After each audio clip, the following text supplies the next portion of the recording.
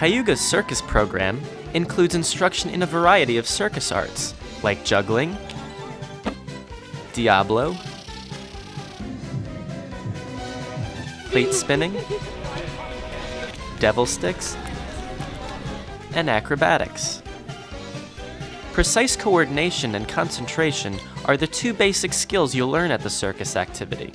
So what you're gonna do you're gonna take your right stick and bring it out in front as you're doing it, okay? Okay. So you'll be flicking back and forth, and then you'll be pulling back and forth as Okay. you're going, okay? Oh, I So it's behind you, over your shoulder. Yeah, that's good. I like it. Uh, rub it up.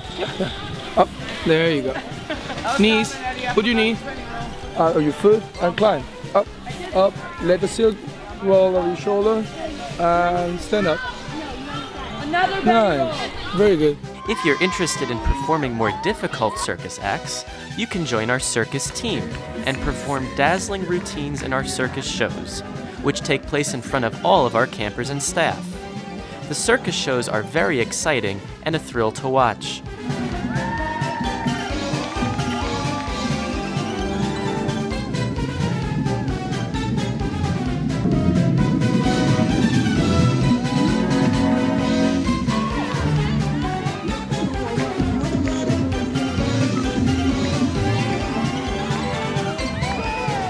It's the greatest show on camp.